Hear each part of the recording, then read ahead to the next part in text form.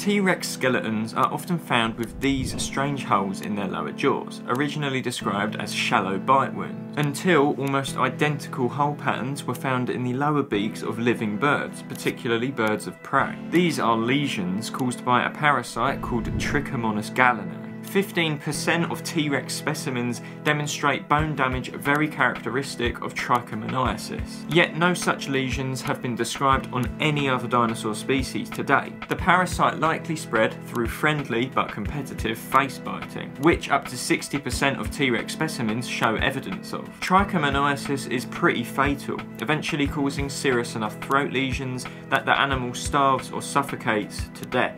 It's likely that infected T. rexes would have met that very same fate.